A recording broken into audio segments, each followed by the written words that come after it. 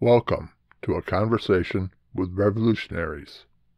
This is the first of a series of videos surrounding the Chicago City elections starting in February 28, 2023. See the details in the description that accompanies this video on YouTube.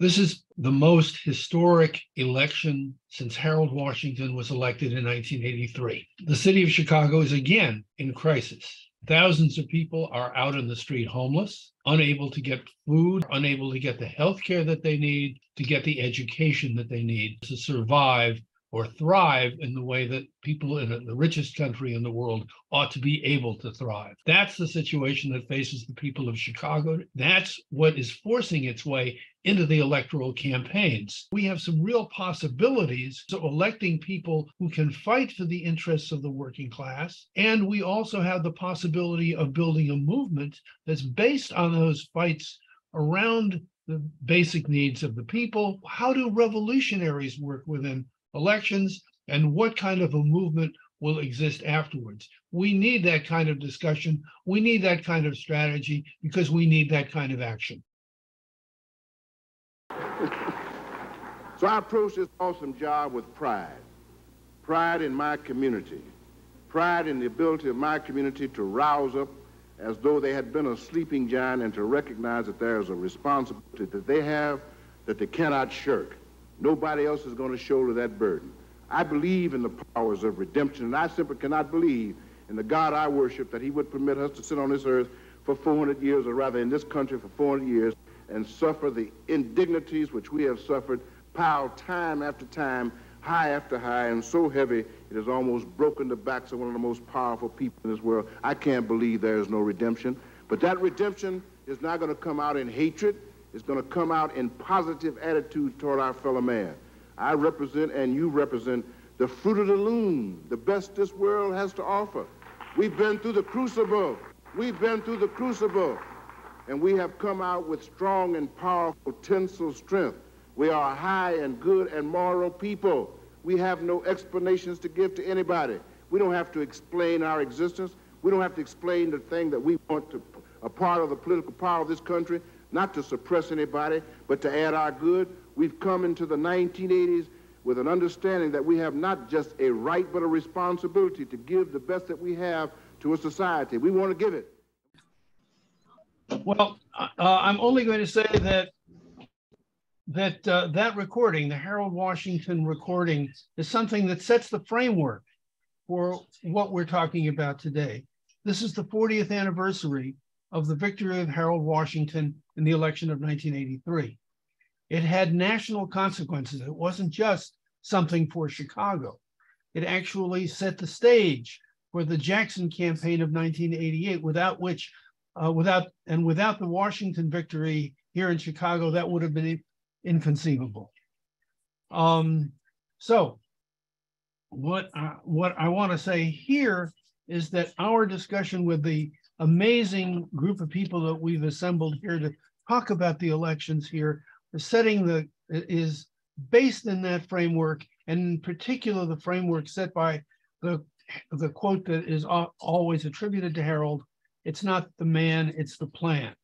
And we have two basic things that we're thinking about here.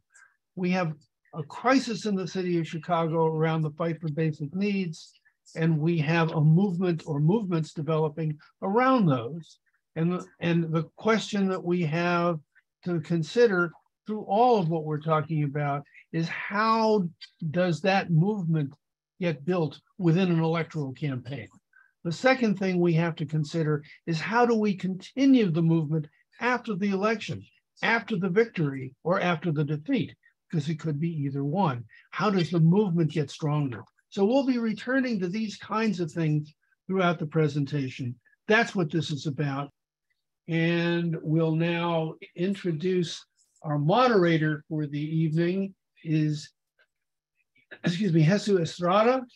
Jesu is a community college teacher, an activist, uh, and an, just an amazing revolutionary poet. Uh, I want to uh, ask Jesu to take over for this part, for the rest of the, the session until we close. Wonderful. Thank you for that wonderful, uh, warm introduction. So um, we have a, a, good number of speakers and how the format is going to go is that I'm going to ask a question, post in the chat, and then speakers will speak, you know, how they want to. And, and before that, briefly introduce yourself. We have uh, Steve De La Rosa, Nicholas Richard Thompson, Alan Harris, Ethel Longscott, and David Vance. And I don't think I missed anyone. So if you want to introduce yourselves in that order, be happy to hear more about who you are. Uh, Steve, do you want to begin?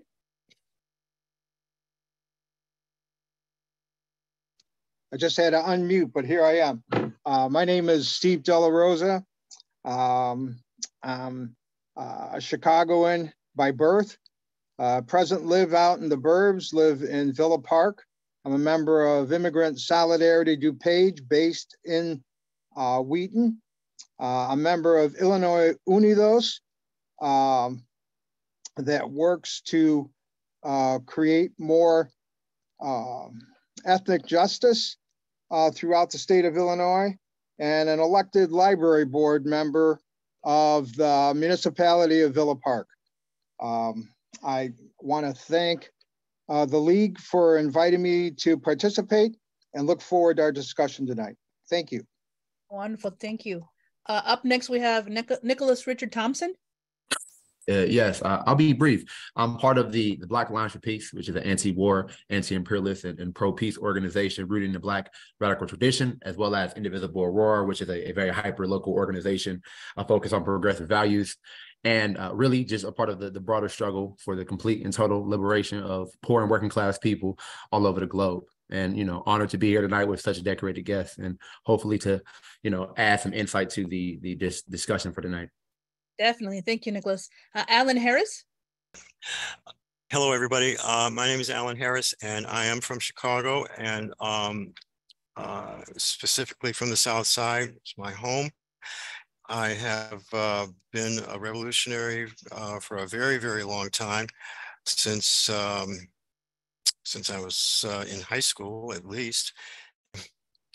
Also, um, Harold Washington, I I actually uh, took part in the Washington campaign back in the back in the 80s, and um, and I can remember uh, seeing him in 1983 in um, in the Civic Center. There was a rally, and I went down there, uh, seeing him for the first time, and there was something I didn't know what it was I wanted to hear, but I when I heard it, I would know it when I heard it, and I heard it and he said, he said, when I become mayor, you won't have to fight City Hall. You will be City Hall.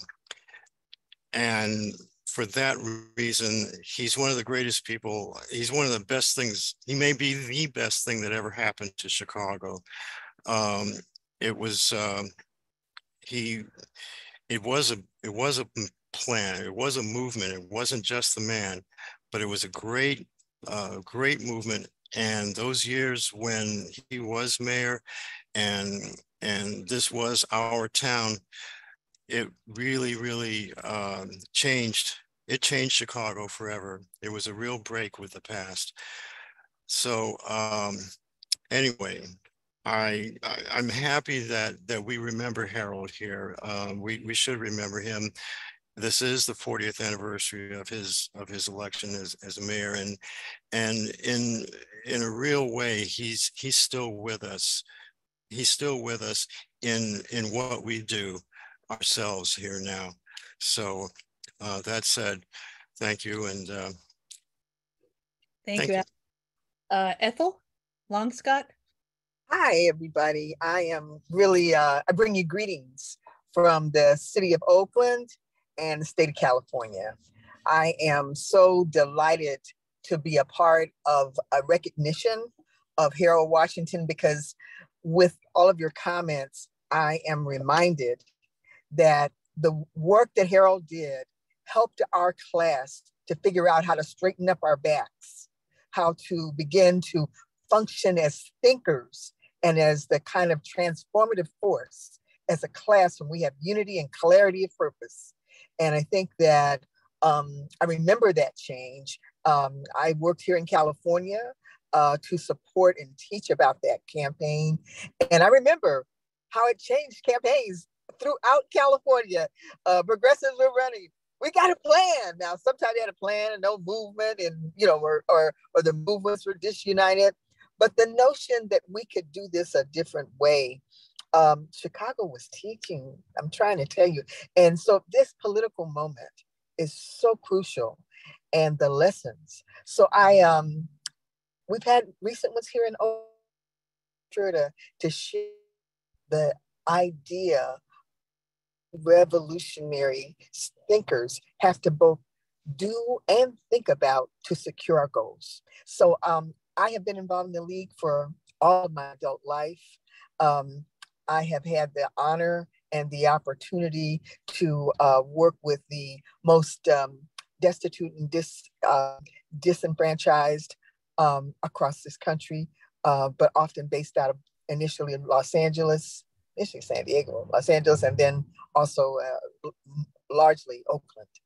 And um, I think that this is our time, folks. So I'm really glad that we are mining these lessons. I never saw that video. I feel cheated somewhat, but I'm really glad that we're sharing those and we need to continue to do that. And I think that that's the spirit that the league is thinking about. How do we make the links and provide the confidence and the, um, the wherewithal for these new class forces who must must secure our country from these corporate dogs. Thank you. You're here, sister. Uh, finally, uh, we have David Vance.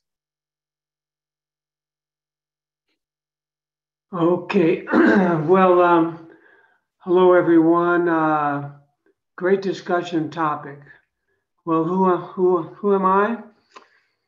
Um, retired steel worker, USW Local 1010, and I am from Chicago.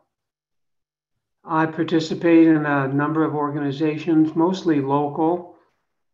The SOAR, Steelworkers Organization of Active Retirees, um, working in a number of local committees. One of them is for a steelworkers exhibit in the Museum of Science and Industry. Um, I'm very active in the issues of the neighborhood schools, local school council, at Bowen High School, go to lots of meetings. And yes, there is a neighborhood uh, grassroots movement going on, any number of places, environmental issues, the issues of organizing uh, for more union, uh, more union voices. So the retirees are there. Um, and so I'm uh, interested in, uh, yes, the, the legacy of Harold Washington. I think this is an important discussion. I can't wait to hear the speakers. Thank you. That is a great segue into the first question, which I put in the chat for you speakers. And the way we're going to play it, if you want to answer, go ahead. We don't have to go by turn. Um, just maybe um, anyway, we'll just continue. So this is the first question. What key issues are the wards and the city, this includes folks from outside Chicago like Oakland, facing that the city has failed to address? What movements for basic needs do we see developing? And this is particular to Chicago. What is the significance of the police accountability, accountability board? Okay, in the interest of not having dead time on the show, I'm going to jump in here because I think part of that question the end part of it, uh, talking about the police accountability boards, are that is a is a huge uh, facet of uh, long term long term uh, work. I'm just going to call it. Uh, instead of uh, trying to frame it as a, a, a super positive um, expialidocious type of curative. I think that though that the police accountability boards, um, it's like we have to be very certain that that they're not overtaken by members of the Chicago Police Department who are actively working to get on those boards and manipulate the results. I think uh, we need to reach out to our friends and neighbors and and get them involved in working to support people that they know to get on these boards and to work to make them reactive to the will of the people.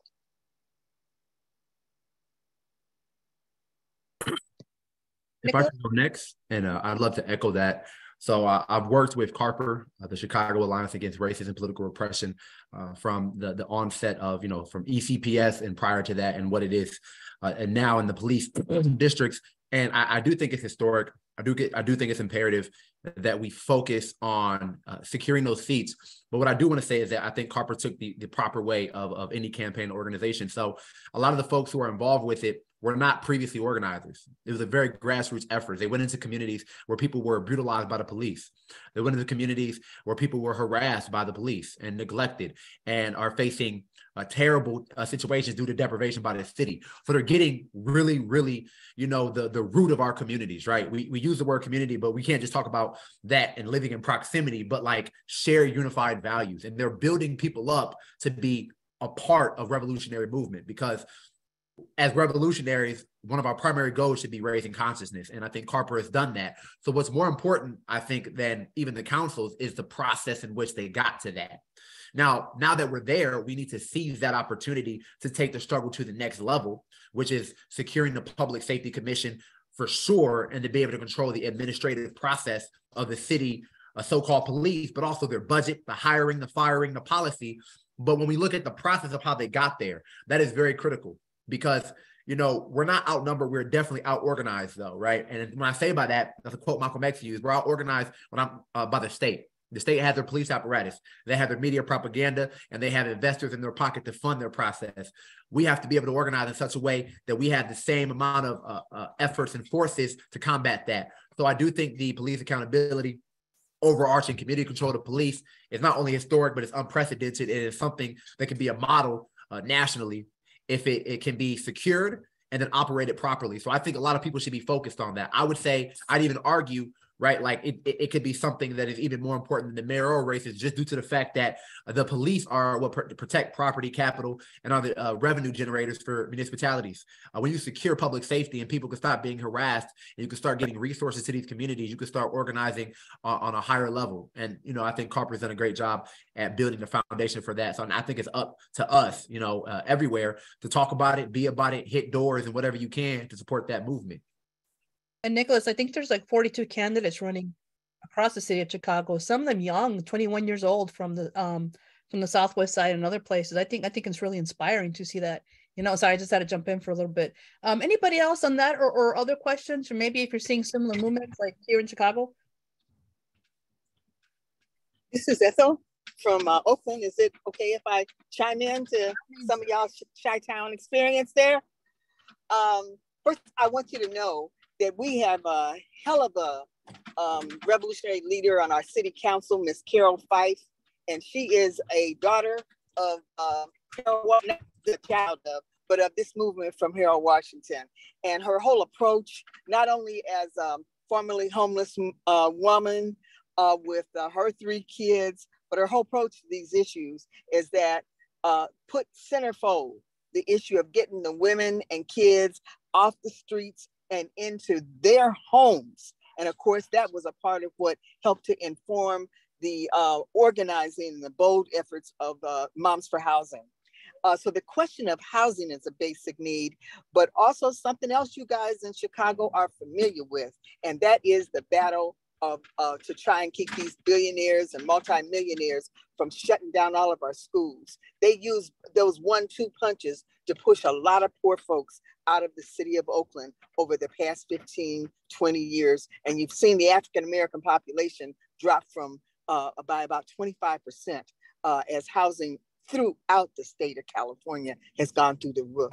So these basic need pursuits um, has really driven home that we've been up against the hedge funds. We, I mean, this isn't simply one uh, property association, though they are there, but th- this is uh, them and Wall Street working on so many different levels. So the importance of what I'm sorry, I don't know all your names, but Mr. Nicholas just said about we got to have some consciousness that that's got to be driving our efforts as we participate in these electoral efforts um, to, um, to be clear that we are advancing a movement to transform things. This isn't just about an, an individual candidate. We got candidates now that we want to we want to win these seats. We're running to win, But running to win also means securing, uh, uh, putting a movement in place that is aimed at securing a cooperative society, that is aimed at securing um, what kind of lives do we need to lead. So I, we see that process unfolding in the city of Oakland. The rebellion led by our children uh, in the city of Oakland to stop the school closures that went on for a year. And that was a forerunner to our elections. And we were able to dump the charters, the, the dump the billionaires running our school board um, and get um, a progressive majority on that school board and on our city council. So the lessons from the um, Harold Washington campaign and the work that you all continue to do is we're actually feeding one another. That should be intentional. That should be, we should build that in a way that helps Can us something? figure out how do we do these things in a way that um, allows us to move that process forward. And I'm, I'll stop there and let other, other So we're not going to open up to public forum until the speakers have had a chance to ask the questions yet, but ha- hang on to that, sister, because we'll come back to that. Uh, David, you know, Ethel touched on a really important issue that has to do with uh, public education, and Chicago is no stranger to schools being shut down. Um, and I don't know, David, if you could speak to the charter situation, or um, you know, because I know you're very active in that. Oh, well, thank you, thank you again. First, uh, I will speak about the police in the schools. They call them school resource officers, and uh, led by the CTU. Big demonstrations uh, uh, the summer before, the summer of uh, 21. And uh, so there were votes in the local school councils. Um, and I don't have the numbers, but uh, quite a few not, quite a few schools voted to take uh, to not have the the SROs. They they were given a, a chunk of money to hire uh, trained. Um, uh, they would use uh, social justice in the schools. So that was an important struggle led by the union. Um, at Bowen, no. Uh, it, it was uh, a um, the um, the parents were all for having follow, following the principle to have police in the schools. So so that was an issue that is uh, still still talked about. Can I answer your second question about the charters? Well, It's a, yeah. I'm sorry. I'm I'm a mom of two small kids, and you know, yes. near and dear to my heart. I will give you an example. East of the Dan Ryan, 10 years ago, seven high schools. And each of those high schools, and Bowen was one, had a thousand to 2,000 students. Now, today, of uh, 23, there are 14 high schools. They've doubled the high schools in the area. Um, so as I, I just drew a circle east of the Dan Ryan, and now 14 high schools. And so what we have, uh, I like to call it a slow moving train wreck. Uh, so I kind of, uh, uh, a number of schools are down to 100 students, 200 at Bowen, 100 at Hirsch, a number of other historic high schools with 300, whereas, uh, and so being drained um, by this charter movement. Uh, and so now we're going to have an elected school board coming up. But they have already built in a crisis, taking the money, public money, into private hands. And uh, the movement, the candidates for the, for the office of mayor have spoken up. Um, and so uh, this issue has to be raised more and more by the union and the public. Um, and I'll stop there. Anybody else on this uh, question, or should we move on to the next one? We're kind of already touching on it, but go on to the next one. All right. And you know, if you want to say something about the previous one, and and I see people putting comments in the chat, uh, I'll I'll definitely highlight those once we get to that part. Um, the second question is tied into the first one, and like I said, some of you have already started speaking to this. How do we work within the electoral movement to build the movement for basic needs? This is Kathy Powers. Uh, I got. I have to say. I have to say, uh, basic needs to me mostly comes under public health, and we we have a very uh, uh, diminished public health system. It's been. Uh, it's like a fourth of the size it was when Harold Washington was in. I'm involved with the People's Response Network, and I follow it carefully. And yeah, every, all these candidates are, are talking about how uh, how they're going to address mental health. That's my deal. That's my deal is mental health because I'm as crazy as you can imagine. Uh, they all say how important it is and everything. Do you know we haven't even had a hearing on treatment, not trauma? I got all, all activists crazy in 2012 when they closed my mental health clinic in Rogers Park. We still don't have a mental health clinic in Rogers Park. The closest one we have is in uh, North River, which is at Pulaski and between Foster and Peterson. It takes me two hours to get there by bus. That's it for the north side. And you know, Rogers Park is no picnic. And yeah, everybody complains about the south side, and this is not south side or north side. It's a neglect by the entire city. We don't, you know, this treatment not trauma things. They haven't reopened the clinics. I could go on and on. Big failure, big failure. And I want to see a candidate who will pledge, who will pledge to do what what his his thing and make me believe it. You can pledge all you want, but make me believe it. Make me believe you're going to do something. Thank you. Yeah, I want to echo what Kathy said. So one thing about you know organizing around basic needs, I think it, it needs a multi prong approach. And one of those approaches, right, is in our communities, right? There are tons of mutual aid programs going on all throughout Chicago. I believe consolidate, consolidation and communication and coordination between these efforts are important. But more importantly, we should codify these things through the city. The peace book that's been put forward by Good Kids Mad City, I think is an excellent example of that. I think it could go even further. I think it could be expanded upon. But with that, right, if you secure a public safety commission with police district councils, with revolutionaries and organizers and people on those, you can determine what public health and public safety is, right? So you can say it's substance use, you can say it's mental health, and then money from the police department goes to that. Money from incarceration goes to community. Money that goes from the police goes to people. So again, that's why I say it's historic and important. And I don't know if we're missing at times because I've heard some some people in other circles not see the importance of it. It literally can be, you could call it a Trojan horse into seizing actual state power to be able to do what we want to do, right? I, I still say we need to have our mutual aid programs and focus on that because that's where a lot of the mass organizing comes from. But if we can see state power, why wouldn't we? Right? That's the focus, I think, of every serious revolutionary. Right? We need to take care of our communities and org- organize around day to day needs and get people what they need for survival. But long term, we should be seeking use the electoral process when we can. And this is one of the few moments when we can, because usually electoral politics is a sham. But this is one of the few moments where it can be something very serious. So, you know, I, I'll yield my time after that.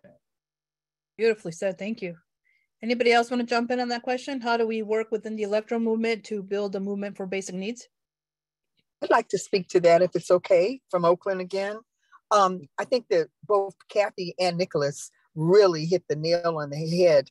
Um, what we uh, did here in our, our most recent election, um, Moms for Housing, a group of, of both uh, bold, formerly unhoused, and um, uh, just to, you know, just very focused leaders uh, did was they hosted candidates forums. And we had an unusual situation in Oakland in that of um, seven or 10 candidates, three had formerly been homeless. Um, some as young as 20 years old, 20 22, 23 years old, and some um, older. Some were still homeless as they were running those campaigns. And our actually our, our elected mayor that uh, exists now um, was homeless with her kids um, before. That is uh, the first, you know, often they'll talk about being the first Hmong, but she also owns it about having been uh, a person who had been um, of, formerly um, uh, homeless and sleeping in their car with their children.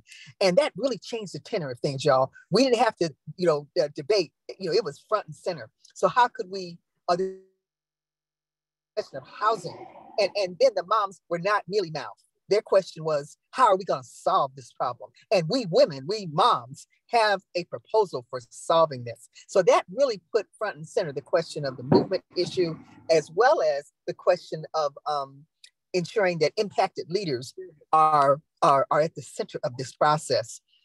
another thing that we really also had in our favor or that we tried to utilize but when i'm saying these things to you i don't want you to think that everything was hunky-dory everybody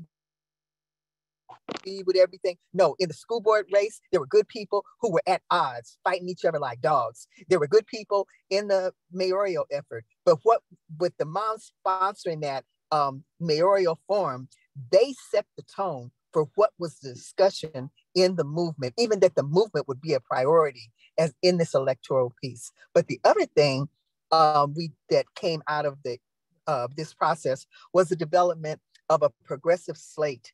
And yes, someone I saw somebody put in the chat um, with the role of ranked choice voting. If got use every tool you got. I think what Nick is talking about, you know, we don't have the luxury of saying, oh no, we're, you know, we're just that that's too low for us. No, each of these processes needs to be a school teaching revolutionary transformation of uniting leaders together who are about that business, others who are at a different spot. We can respect that, but some of us got to be paying attention to that process. And so, what the progressive slate did is that it affirmed both values and measurable goals so that we knew that the charters were running their candidates both in the school, obviously in the school race, but also in the mayoral race. So we had to affirm those goals. We can get in front of this. And I tell you, even if your election is tomorrow, this is important to do now. So what we found is that that process helped us in terms of establishing what marks a win. Don't let our don't let our enemy define what makes a win. We, the people who have been impacted, have to define that. And then lastly, as a result, um, again, this this um she, more than a firebrand. Carroll Fife, um, she led our city in putting forward three bold housing initiatives that would provide 26,000 new units of extremely low income housing. Hasn't been done in decades in Oakland, probably in your city either. Um, and the public voted to support them. Surprise, surprise, surprise. So now, they, of course, the hedge funds and media is saying, oh, Oakland's too broke. It can't do social housing. Oh, no, it can't happen. That's a lie. We know what they're doing.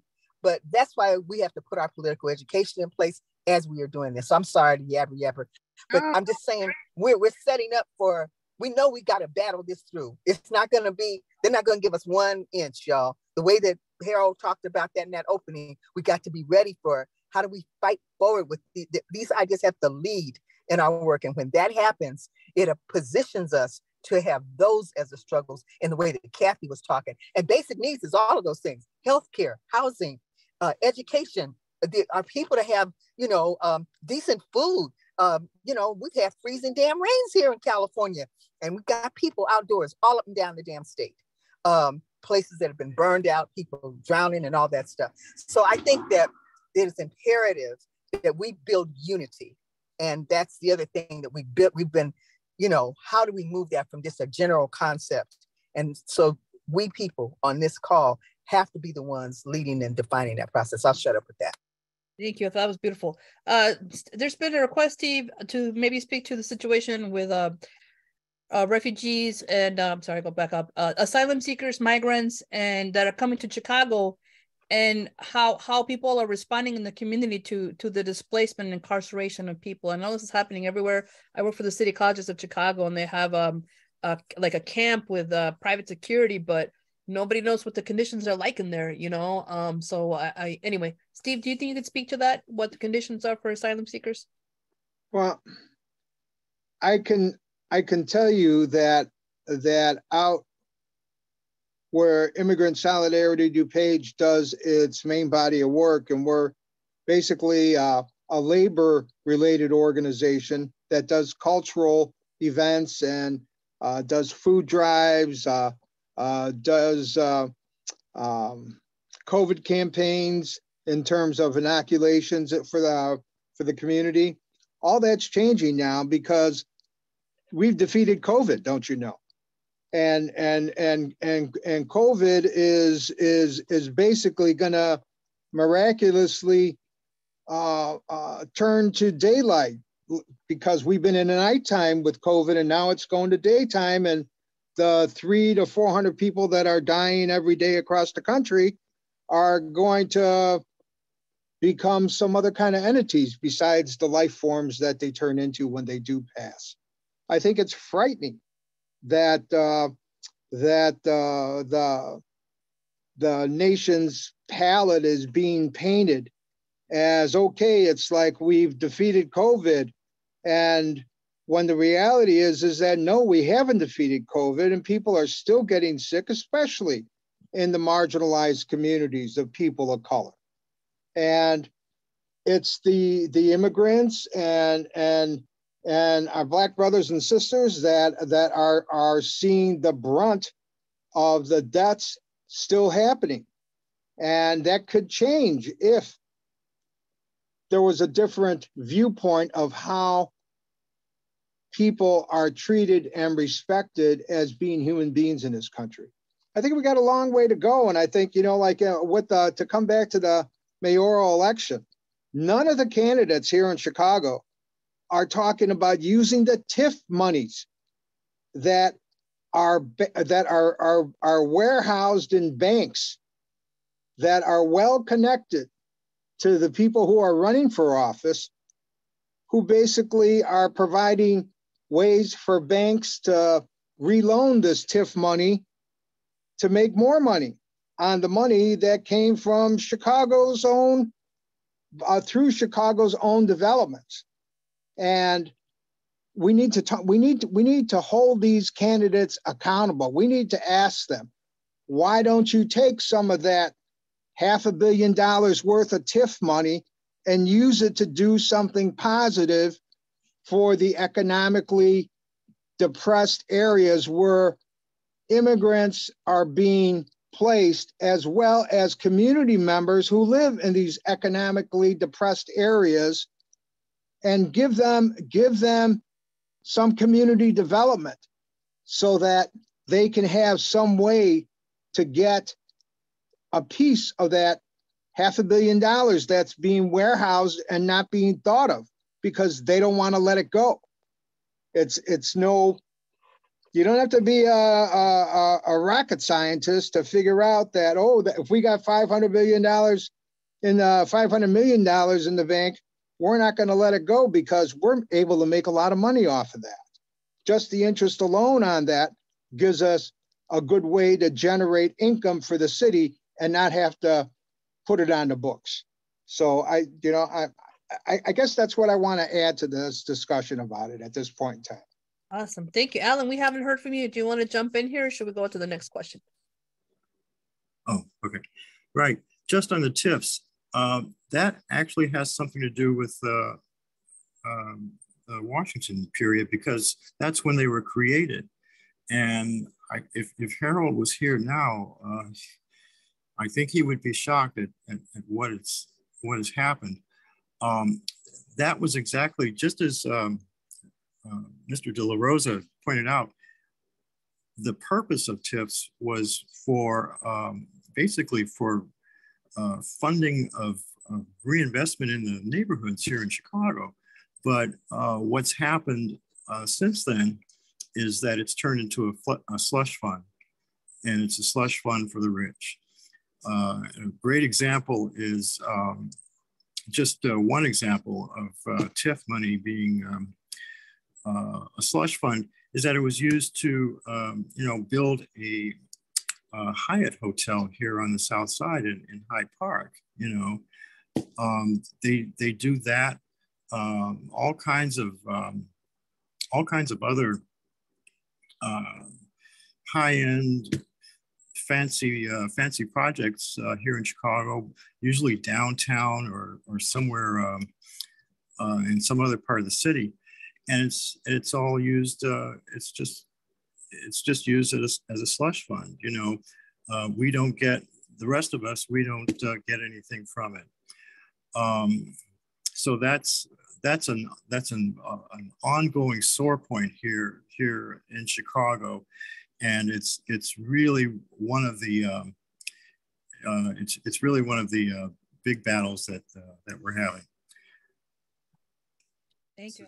So we're actually okay. a little over time, but I say we, if it's okay with you panelists, maybe give it 10 minutes before we break because there's a couple questions left. Um, and and you've touched on this already, but how, how do we emerge at the end of um, the electoral campaign with a stronger movement? And I don't know Ethel has spoken to it's got to happen now, but how, how do we do that? I think that for people to think about the League of Revolutionaries for a New America, like that's our stick. Um, every day working on these hard fought battles that are that our, our people need in order to live. This is this is the space we're in. But also with the idea of a vision that we, you know, the time is now for the kind of change. And so we got to go into these campaigns with that idea. You know, there are some of our organizations who are going to be doing the door knocking in the way that um, Mr. Richard and, and also Mr. De La Rosa have talked about. Uh, and there's going to be others who are going to be doing the other kind of incredibly uh, important work. But that work of political education uh, to secure the goals, the, the transformation, the gathering of those leaders who are about the business of transformation. Not everybody is, but in the league we are. We proudly uh, have that space. We have lots to learn, but we also have something to offer in that process. And so I think if we think about not only are these opportunities for schools for revolution, but they are opportunities to gather those people uh, that are the Washington, the heroes. I mean, the millions that were touched in that campaign, uh, and that you know gave someone like um, I remember uh, ministers talking about uh, early on. You know, they told uh, Jesse Jackson, "Well, just threaten to run." They didn't know he was actually going to run, but also the movement, you know, drafted him because people needed that. Uh, that's an important thing, and so I think we operate as revolutionaries with a sense of both history and a sense of science and a sense of how these pieces come together.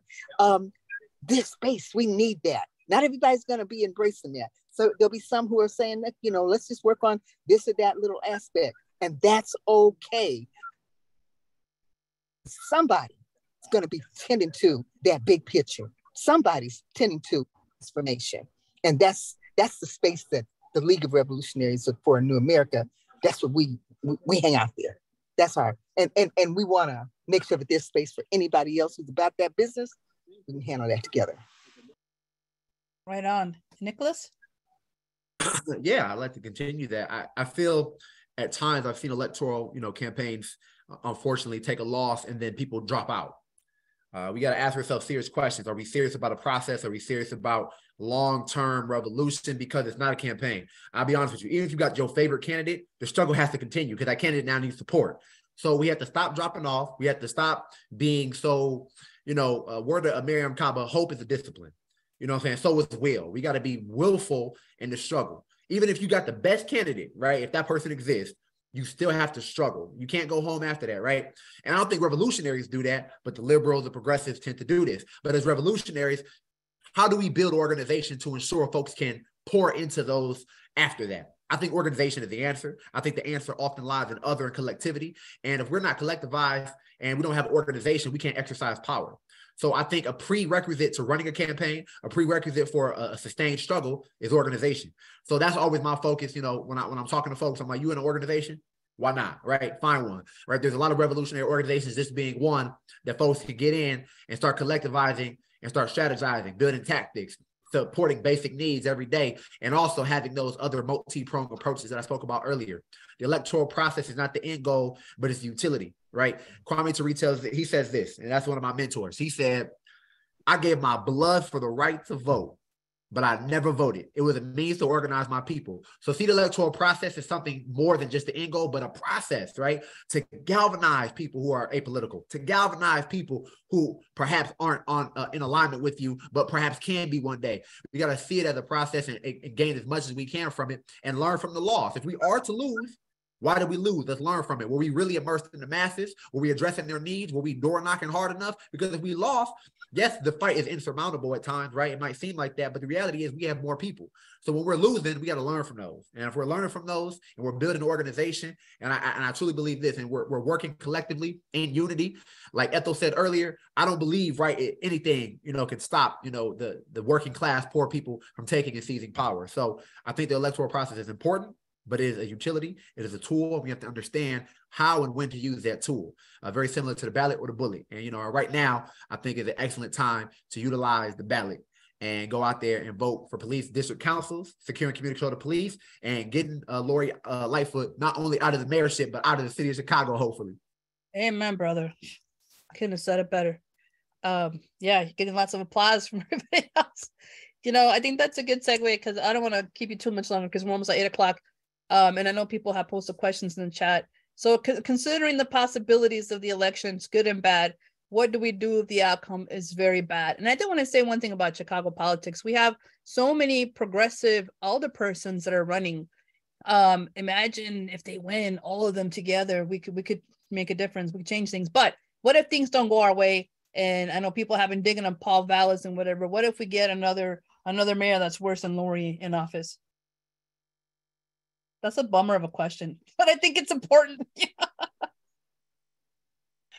it um, part of the problem is is the way these elections are set up nowadays. Uh, back, you know, we talk about how um, we talk about 1983 and what happened back then, and uh, how the how the Washington movement succeeded, and it um, it really um, that whole period was a was a great lesson to me uh, in terms of uh, unity because it was it was um, it came at a time when actually the machine itself had split. There was a huge falling out between Jane Byrne and um, Rich Daley, uh, who was a state's attorney at the, at the time.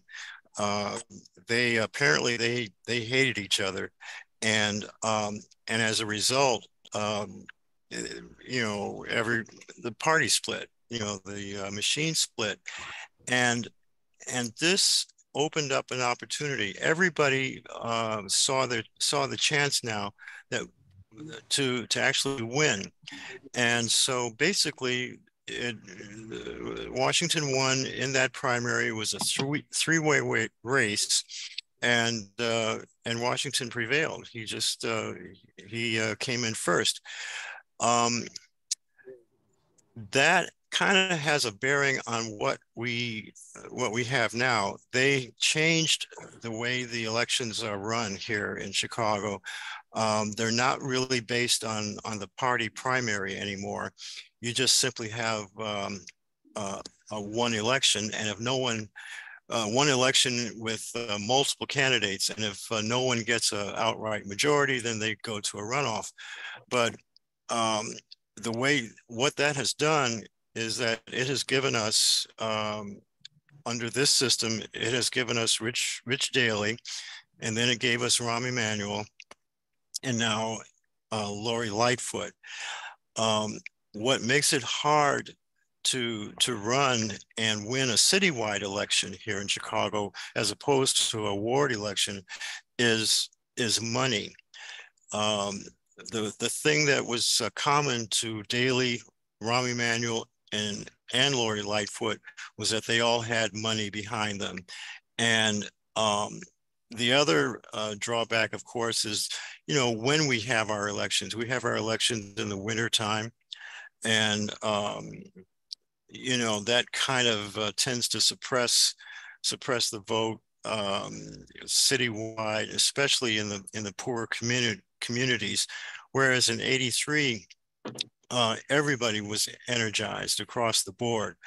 But if if you don't have um, if you don't have um, an election that um, people can see a chance to to make a difference in by voting, well, then the tendency is to is to not vote. Um, and and so there there's just the conditions that that we're having this campaign in this year aren't aren't exactly ideal.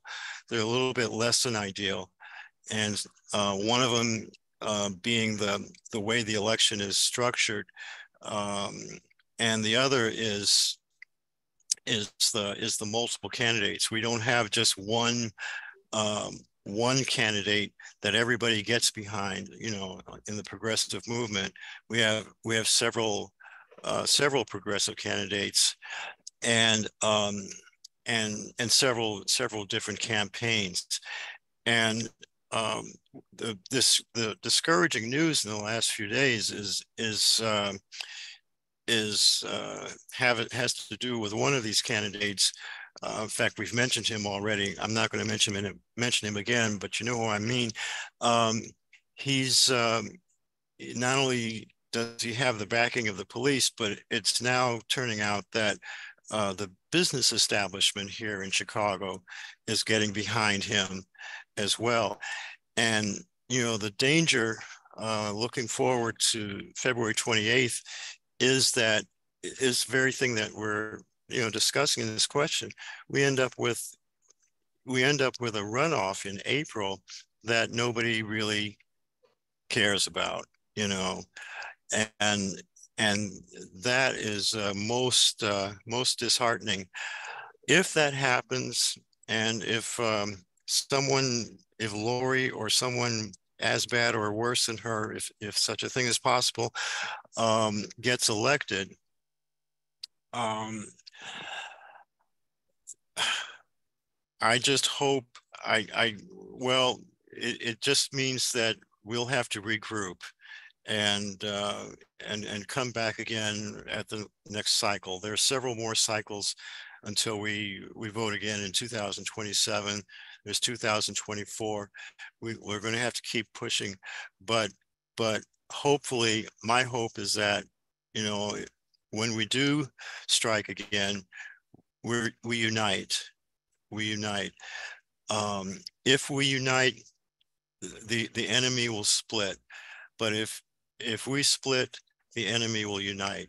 And so we have no choice. You know, we we must unite. I I, I kind of strayed from the question, but um, but uh, it does kind of have a bearing on on on um, on the question here that we're talking about. So anyway, I'll uh, I'll end it right there. Thank you, Alan. Uh, so we're actually at the wonderful time we can hear a cultural performance, and and Nicholas is going to lead that for us. Yes, I, actually wrote this piece at the league's cultural conference, and at first I was going to write something new, as I always try to do, but this piece still just I think resonates for the time because it is a love letter to revolutionaries, rebels, radicals, renegades, and rabble rousers and raconteurs toward a vision of a future struggling to be born. Humanity will stop for no man's privilege. I'm early morning reading Hood Communists and drinking matcha on the porch, on looking the community garden where my children play safely. Murals de- uh, decorated in liberatory illustrations, the catchphrases, everyone always, from each according to ability to each according to need, down with imperialism, a Black Alliance for Peace. I pull up to the district assembly discussing city allocations and the preservation of the trees. Everybody's heard and everybody speaks. Onward, ever, backward, never. We delivering groceries to the senior co-op. I receive a round of chess with elders picking up game and some recipes. They share with me that revolution was a process, not an end goal or a thing, but in motion and always becoming. The struggle continues. Childcare is collective. A well-being for all was a platform. Pigs wasn't welcome on the block. Safety was our bonds with each other. I'm at the community center volunteering time, pondering if Huey P. Newton read the Stoics, wondering a world in which Malcolm lives to see Burkina Faso under Sankara. I'm prepping my notes for the book club tonight. Is blood in my eye, hoping to do George Jackson justice. I'm strolling through the neighborhood, stop on the corner cooperative in a hoodie and a do rag. This is a spot where we plant the coup at. Conniving with a couple convicts turned comrade. I'm checking in on my folks walking down the street where the people in control. No cop cars on patrol. We quicker to revolt than to vote, and they know that. Blacks and brown babies no more in blues. Journey to grace and amusements, riding bikes, flexing and frolicking, hooping and hoping. Ain't no active shooters, only active imaginations. Take them on an adventure, prepping for their next stage of life, unbothered, blaring boisterous music, playing a dozen, sleeping serenely if they want to, praising the gospel, ghetto or otherwise, eating rainbows and sipping dollar sweet teas, not playing with pistols. This ain't even a utopia, but we got sense enough to know life can't be refunded. I walk in a classroom where I mentor today teens meditating, hearing the history of the indigenous inmate and the immigrant, practicing conflict resolution. They got options for electives like cultivation, world building, writing people's constitutions, hearing voices, seeing visions toward a transformed future. History doesn't repeat, but it rhymes, and the rhythm hinders movement. But the people's chorus sings, Whitey on the moon again. And we sent him there on a one way flight. Do not return the sender. The revolution wasn't televised, it was streamed, streamlined, and made a TikTok challenge. Overthrow the boss today form an organization or a party and dance a freedom jig, a two step towards liberation. Protest the progressive only seeking health care. Tell them they way too passive. I'm sorry, but my people keep weapons and we need action. We're not kneeling with no enemies, no infatuation with violence, but our emancipation and sovereignty inseparable from it. Hashtag. First day after victory, we secured bread for the masses. We acknowledged the land by returning it to the stewards and found equity when we emptied the penitentiaries. We slid on the ruling class, took the power from the sliding scale. Strikes had us thinking of the worker and not drones. I organized as if the revolution tomorrow prepared to work without ever seeing the fruits of my labor because this is for posterity. Leo, Navi, Amiri, Zaire, Zay, the struggle wasn't born in a vacuum and ideas do not fall from the sky.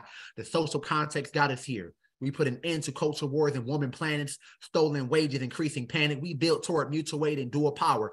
No one being can write all of humanity. That's the people's post.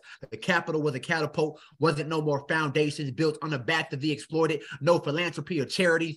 We redistributed the needs from the source.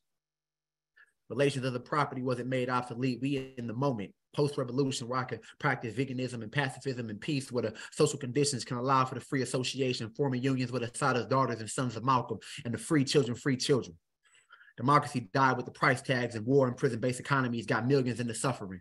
White supremacists and fascists choked them out with their white hoods and bootstraps. If this too graphic, a vivid illustration of world immersion, you ain't built for this. The violence the slave apply is contrary from the slave master. I saw self-determination in the fire of that municipal building.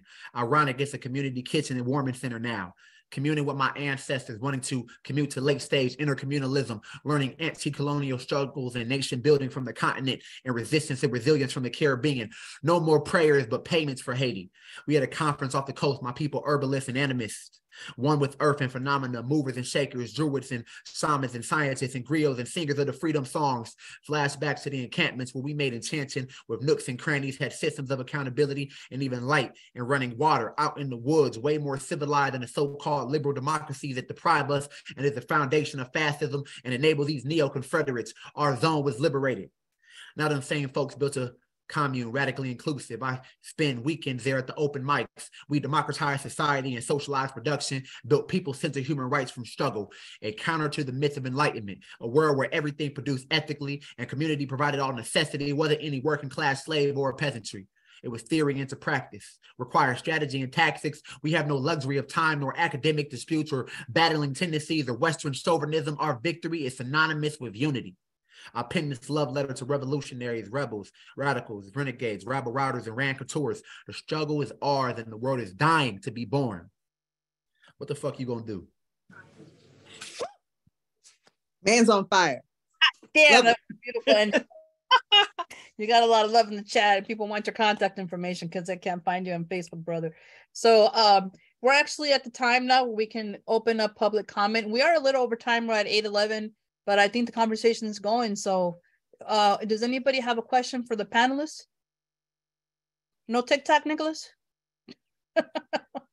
what? No, all right. Uh, yeah, go ahead, Yolanda. I know you wanted to speak earlier. Do you want to answer? Yeah.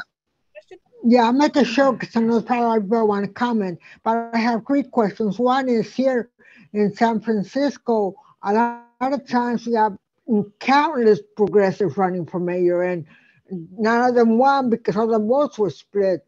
And then the, the, other thing is, what do you, so what, what do you, do you think that's a possibility? Because when I was reading an article about it, and uh, I know that you guys had, there's a lot of progressives running for mayor for other offices. So I hope they don't split the vote. And the other one is, what do you say to people that, that, that are left wing and disorder and, and don't want to participate in elections? And, uh, the, the only last thing I wanted to say is I've been reading, I read a reconstruction article. I read about four articles on Rally Comrades today. And I know that uh, and rally comrades has been talking about the contradiction between the private ownership of the means of production and the public necessity. And that's something we have to address. So how do you address that in politics where a lot of times people just want to know about the politicians, the candidates' positions, and how do you work towards those kind of conversations? Okay, I think I caught all your questions. Just correct me, Yolanda. I got. Do you think progressives can win without splitting the vote? And I'm assuming it's like in, in wards where there are a number of progressives. Mm-hmm. no, yeah, yeah, yeah. Then, then the then nobody, none of the progressives win when there's a lot of progressives. The, the next question is, what do you say to people that don't want to participate in elections? And I don't know if you want to rephrase that third question. I missed it a little bit regarding the rally. Yeah, um, yeah, that that I I've been re- I read Rally Comrades every time it comes out. Today I read the article on reconstruction was very scary. But uh, also I, I, I was just wondering. I've I've been reading about the contradictions between the private ownership of the means of production and the social needs and how we have to address that. So when you're talking with candidates, I mean, not with candidates, but with the people, even the candidates, how do you bring it, that into the conversation? The fact that it's, that we're never going to get housing for the homeless, for that house because of the contradiction of the private ownership of the means of production, and which is only for a few, and the social needs of the public, which is for everybody. How do you bring that into the political discussions when you're conducting the, the elections campaigns. Beautiful. Okay, I think I got them all. All right, that's a and kudos for reading the rally. Um, I, I think I'm going to post those links in a little bit. But who wants to take this question or no, a series of questions? And if you need me to, I can repeat them again. Can I start? If somebody from Chicago, Chi-Town, please jump in. Y'all, uh, first of all, Nicholas gave us a map. There's, uh, at least I'm gonna try and utilize it as part of my map um, in terms of both, you know, uh, making sure that we are teaching as we fight. Uh, making sure that in, in, each of these battles that we enter into, we uh, keep that sense of what's the big vision of what we're trying to get done. And even, and, and we meet people where they're at, not start with where we want them to be. Uh, so I think that to me, there are many things that Brother Nicholas' poem communicated, but those are key parts.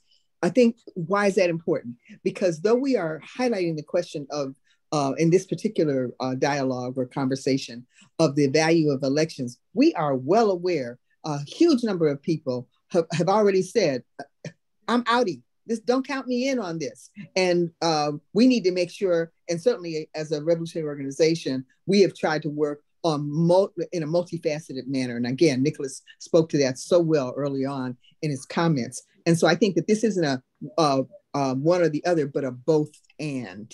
And and then based on that participation, what is the what is the value of um, what, what, that we operate with a sense of purpose? So I think these questions that you have raised okay. means that we've got to uh, work in that manner. But there's a couple other lessons that we can learn from the midterms. We saw in the midterms that the corporations, billionaires, and multimillionaires, they try to convince the working class, y'all ain't gonna win. Y'all need to sit your butt down because it's either y'all women want, you know, some uh, autonomy over your bodies, or you want to be able to buy eggs, or you want to be able to have gas. And guess what? our class figured out we need both of those things. And in fact, they did not buy, they did not go for the okey doke. So that's why this role of political education is so crucial. And I think that that's what Brother Nicholas demonstrated just now in a twofold manner. And yes, we're usually going to have scoundrels running.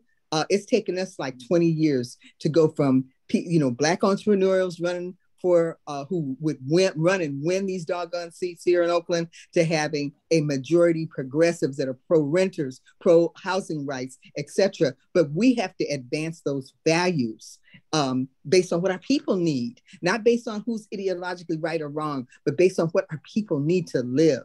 And that's got to be front and center. I'm sorry, I'm passionate about these things because I know okay. that these things change if, if we have a sense of purpose and we operate, you know, with answers to the kind of key questions that you've raised, Yolanda. I don't mean to hog it. I'm gonna make sure that somebody else gets to speak to this as well. Beautiful. Somebody else want to speak to these questions? We have a, a, a few other people on the stack still. I see you, Peter and Lou. Okay, Peter, why don't you go ahead, ask your question and, and uh, um, go ahead. Well, actually, um, I wanted to to jump in first on on Yolanda's question. What about people who don't who are, are not going to engage engage in electoral work? I I Gil Scott Heron's voice echoes in my head. Nobody can do everything. Everybody can do something. And what Nicholas said earlier is really important. Don't be alone. Find a collective, find a group, be a part of it. It, it you know, my wife is an artist and, and I'm an artist, and nothing I do in, in my sculpture is political. It's all pure geometry. But I integrate with others, and at art shows, we're talking politics because they're all hungry you know so but second and a number of the panelists engaged on this really well what do we uh, the the last two questions how do we emerge with a stronger movement and what about what if the election doesn't come out well well we have to understand and we have to share with the people around us that none of this is about a single election. The issues are huge. We are up against this gigantic machine but this machine has reached the end of its useful life. It has nothing to offer any human being anymore. And so everything we do, electoral or or you know neighborhood campaigns, raises the ante in this giant poker game, and the stakes are huge. And so if we win an election, it raises the ante because it, I worked on the school board election here in Oakland. And now that we won the school board election, the press and the behind the scene actors are jumping in and and cutting the knives are out baby you know and they're they're telling us oh you got it now you got to keep those schools open with the money you got because there ain't no more money. Well how'd there get to be no more money? We need we need to talk about the history of this. So uh they raise the ante we raise the ante. We have to be prepared for what they're going to do next and and we do that by talking together and raising our consciousness because like nicholas said like ethel said like steve said um, alan said it is about consciousness and and and we got to be in this for the long run because one election ain't going to do it and if we if we get somebody good elected but we don't have a stronger movement we haven't won anything I agree with. I'm sorry to jump in. I Mm-hmm. agree with that 100, percent Peter. I mean, let's say I mean, we get a progressive mayor, progressive alderpersons. They're still going to need the people to back them you know um it, it, can't help but be kathy go ahead and post your, your question on there if it's not about citizens united um lou uh you're you're on stack next and then we'll come back to to kathy um i had two things to say uh, first thing is just to indicate or give an example of why one election is not enough or an election is not enough Harold Washington won 40 years ago. Where are we today? Where are we today?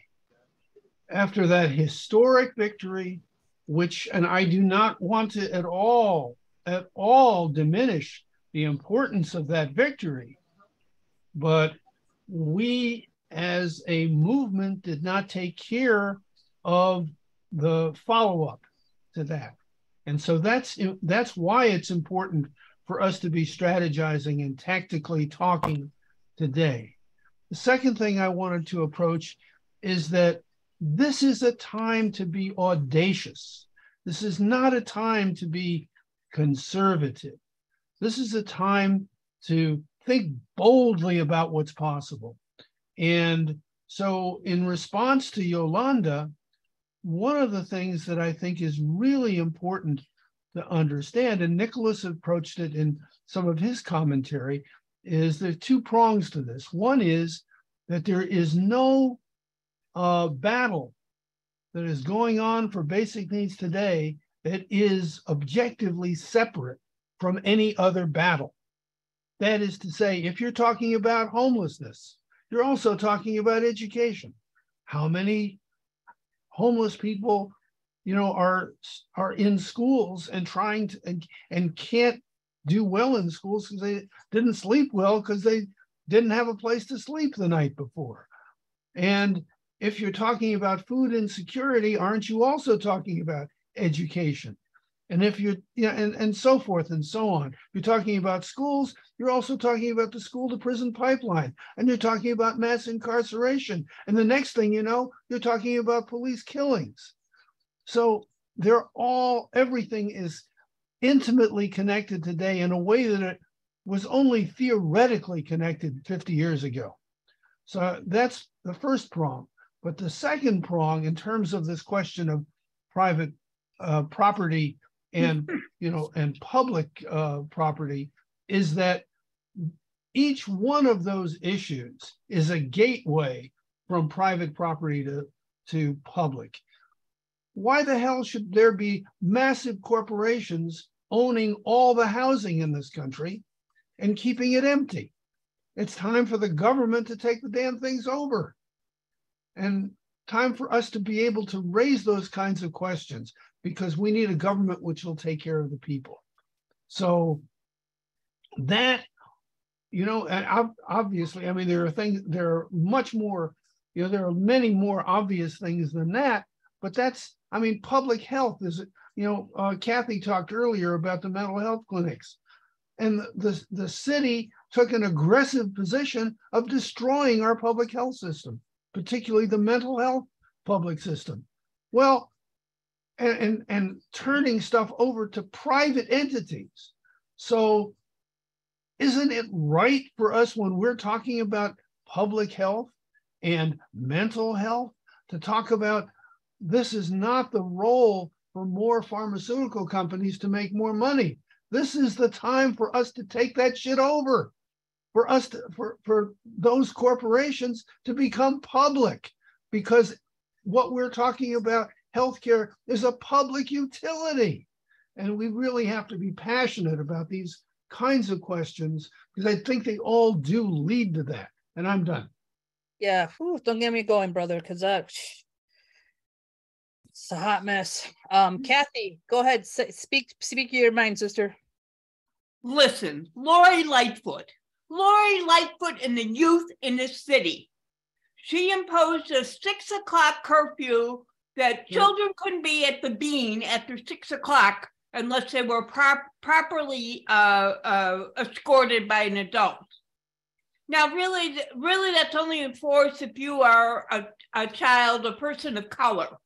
She also uh, lowered the curfew to 10 o'clock at night otherwise. Yet, yet she had the audacity, talk about audacity, Lou, audacity to send out uh, requests to teachers at CPS, at the city colleges, to have the students work for her on her campaign. Right. These, these children who don't have a right to the, the city because she has so decreed. I've written poetry about this. And anybody who wants to have me in an open mic, I have a million of them, and you love them all, and they're all awful, just like she is. I, you know, Oh my God. And then I think, you know, they're doing an investigation about that, and they're not going to come up with a, a, ruling about it until after the election. Because, you know, God forbid she wins the election and they've come down on her. So it's not going to happen. Nothing happens in the city without her say so. And don't be don't be fooled that it works otherwise because it doesn't. We have five mental health centers left in a city of of what uh, what's it now? Three plus million I don't know. People keep leaving, so who knows? um, she's taken all of the money that that's been uh, given given to the city for for mental health purposes, and she has privatized it. She's giving it to uh, all, all of the uh, um, uh, non non for profits, private organizations so you don't even know, you can't find out what they're doing with it because you can't FOIA them. You can't FOIA a private organization. That's outrageous. That's just outrageous. And it's our tax money. And uh, you know, most you, there's some places and we did we did a little bit of uh, research on it. There are some places that are getting mental health money that don't even give mental health services. So, you know, all this stuff, these backdoor done deals, this has got to end. This has got to end. And uh, I, you know, I'm old, but I have a few years left of me, and I'm not going to shut up about it. And I'm going to write about it.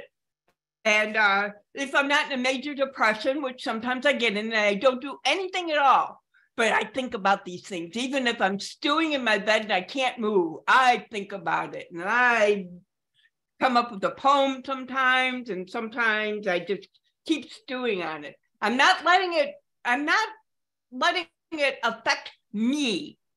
I, I I just see I just see all of the stuff going on, and I run into people. Oh, Lori Lightfoot. Oh, she she's a black woman, a, a, a, a, gay. She's gay, and she's wonderful because she became mayor. And like, well, yeah, but what has she done since she's been mayor? I can tell them a few things. I, you know, I, I just, I'm just livid about her. I'm livid about her. Paul Vallas, you know, I, I am not even saying his name. I, will go with, Alan. I'll just go with Alan about him. Uh, I, I like, I like Brandon Johnson. I like Ja'Mal Green because they all speak to neighborhoods and community and what we need. Certainly not what the corporations need. So they, Come on there, therein is our battle. That's our battle. And uh, I'm I'm a big talker, obviously, and I'll talk to anybody. Today I was at uh, my eye doctor's and I was telling them about the uh, elected police board, which they hadn't heard of at all. They hadn't heard of it at all. And I think most of the people in Chicago haven't. What I've done in the chat here, I put in uh, two links to uh, um, re research your um, your your police board candidates because we got the FOP group and the people who have been damaged by and hurt by the system and their families and everything. We want them in because we want reform. Really, you can't reform a broken system. We need a whole new thing. And I, you know, I hope we do it right. And I'm going, you know, I got got to keep talking about it. Also, in the chat, I put a link to the map of the police district. So you know what district you're in. You don't have to look, read all of them, although it's kind of interesting to read them. But you don't have to read all of them, find your district, and uh, then check out the candidates. One's from the reader and one is from, um, I already forgot. Um, oh, the tribe, which that's that's like my go-to pay source. That that and Southside Weekly, I like that too a lot. So then then of course there's the People's Tribune. Listen, guys, we got a paper out there for for the people in the struggle, and uh, you know I can't promote it enough. Uh, I don't. I. I, I so talk to people. Talk to people. Talk to people don't give them an argument. Listen to them. Listen to the people. Start start a conversation and listen to them because they'll guide the way. The people will always guide the way. I'm finished. I'm finished. Kathy, I didn't know that's where that came from. That's amazing. So I, you know, I, I agree with Kathy. With with Lori, I don't even know how many, and not just to the People's Response Network, but all the positive legislation that we've been trying to pass has has never even gotten out of committee you know? And so it's just difficult when you have a mayor like that. You can't get anything done you know? Well that's not necessarily true but um uh up up next is uh Sim- simmerjit I, i'm probably butchered your name but uh you're on stack. Oh thank you. Um it's simmerjit. And you know like i think one of the things that just has stuck out in this conversation is that like my entry into the conversation came from ethel. And it was just because we've been having all these long form conversations where we've taken the time to have these conversations. And you know there's so many things that we can talk about that that join our our liberation struggles not just here like not just in those local elections but they go the principles of these systems exist geopolitically and that is something that we often don't realize but like the principles of abolition the principles of everything that we've been talking about in this space as kathy just pointed out are are a part of the whole system. It's not just in one spot. So when we see people from different communities reaching across and like having those conversations you will be surprised at the resonance that you will have. Um, i'm I'm actually Canadian, so I can't even vote if I wanted to in your spaces, but I'm often in your spaces because what's happening in the empire is affecting everybody.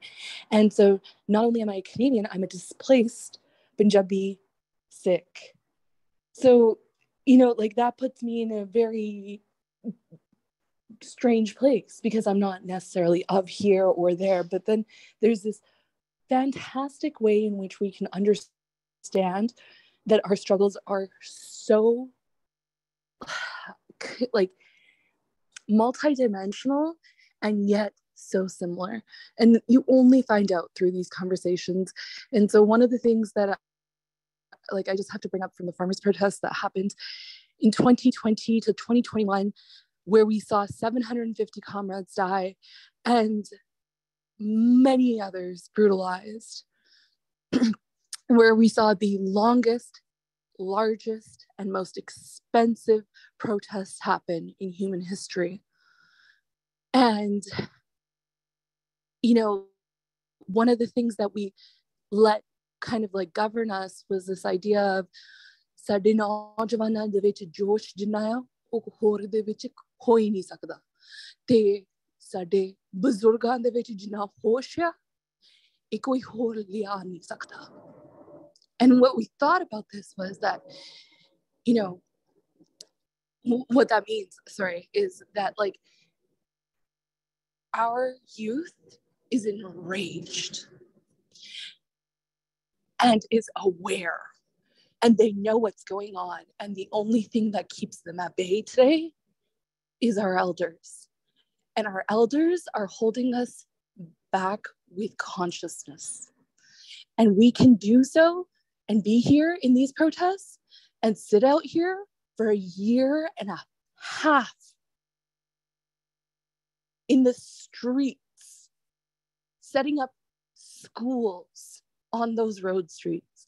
Like we, we did this for a year and a half, and we still have so many resources going to teach kids, put them into schools, get people meals and that effort continues despite the fact that like we may not have gotten everything we wanted in that in that blow. The consciousness that is there right now is leaving, leading an abolitionist like protest ha- happening right now. That's me in South Morcha in Punjab right now and it is on fire. People are coherent. People are distinct. Like they they're very the same conversations you're having they're having elsewhere and i just wanted to bring some resonance into that. And i'm very excited that you guys are here and and getting together and having these calls. Um, just i just wanted to reaffirm that. And um, as a as a Sikh diasporan, I will be in Chicago for the Socialism 2023 conference, and we'll be doing a number of events there as well, kind of hoping to connect with some of you, hopefully, and get um, the Sikh community kind of involved with uh, what you're doing. Thanks. Thank you, Sumitri. We'll have to connect when you come down. Um, so Nicholas is next, and I think that'll be the the last uh, comment or or um, and then uh, Lou's going to close us up. Go ahead, Nick. Right? Was it? Yeah, yeah. I'll be incredibly brief. Then uh, I just want to echo what Summer Jess said because you know uh, the Black Alliance for Peace is an international organization, and one thing that they said that I think is really important to highlight is that the struggles locally we have to tie to the international, right? Uh, police here are trained by Israeli, the IDF, right? So they they exchange information, right? The uh, the 1033 program transfers military grade equipment to our localities to be used like war zones. So war equipment is taken from the national level and put into the local level. So the imperialism we see, uh, a consequence of that is deprivation, violence, and destruction, but it's also immigration, right? People don't just immigrate, right? As the person that just spoke, uh, talked about being a refugee. Uh, a cri- the crisis of imperialism, which is the crisis of capitalism, results in migration. It results in the deprivation of our communities because they have to keep us at bay with their police force and in the same tactics that they use in Africa, all throughout the continent, through the program of AFRICOM, right? They destabilize countries.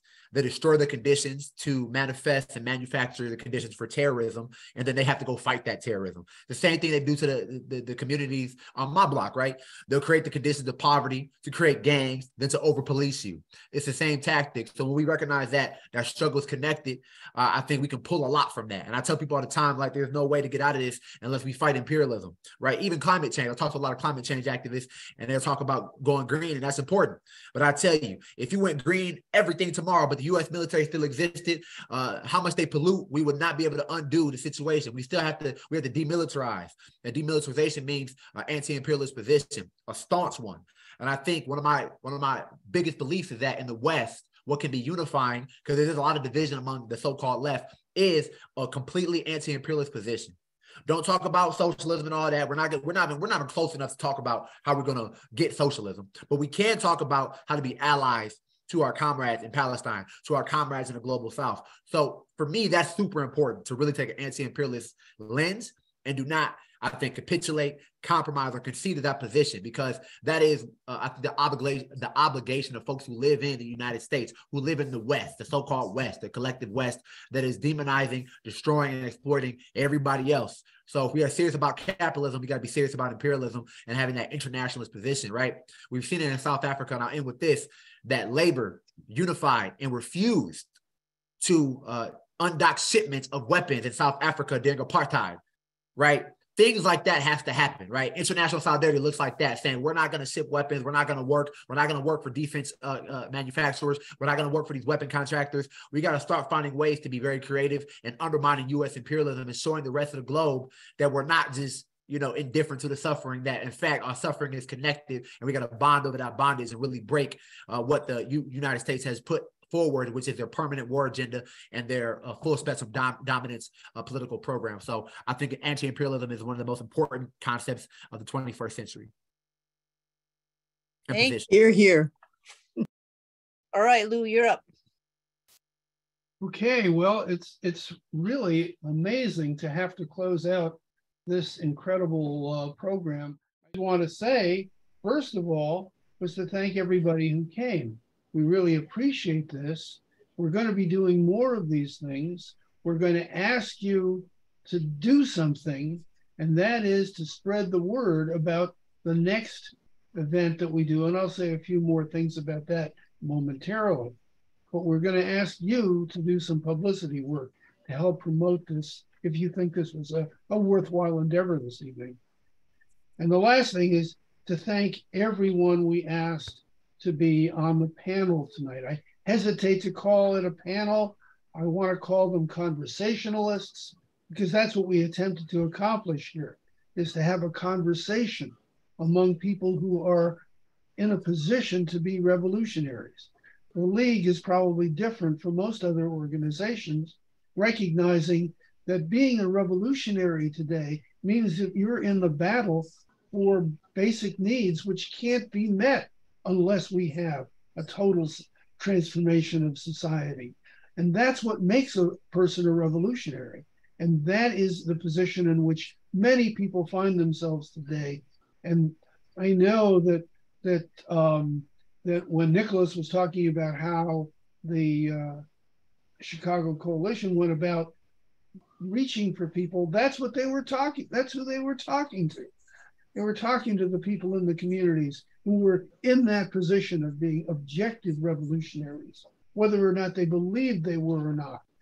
So we want to say that that this was an opportunity to draw some of those folks together, and and we really had a, a, a great discussion, I think. Um, we hope to convene a the same or similar group in March so that we'll analyze and discuss the February 28th election and look at what's happening for the runoff election on April 4th. We'll be able to have a little bit more concrete discussion about that at that point. Not much that we can say now. And then we hope to bring people back again in April when we will have had the final stage of the election, the second stage, the runoffs, we will know who the elected candidates are, and we'll have a better sense of our possibilities or our doom, as the case may be. But it will also give us, again, more concrete things to say about how we're going to have to be out in the streets and what we're going to have to be doing to further the development of the movement at that point. Um, this program was brought to you by the League of Revolutionaries for a New America. Our goal is to bring together people in the revolutionary movement to consider the tactical steps that are necessary to move forward in order to achieve a society where people thrive rather than struggle to survive, where private gain is supplanted by the distribution of the social product according to need. These tactical steps emerge in the fight for basic needs, and the electoral battles are one place where we see those fights take a political form. As I said at the beginning, we had two basic questions at the beginning of our planning for this meeting. One, how do we build a movement for basic needs within the electoral campaigns? And two, how do we, we prepare so the movement and the movements are stronger after the election rather than dissipated either by victory or defeat? We hope we've contributed to that tonight. We look forward to seeing Mm. you again in March and in April and beyond, because we'll be continuing these kinds of discussions uh, further on down the road.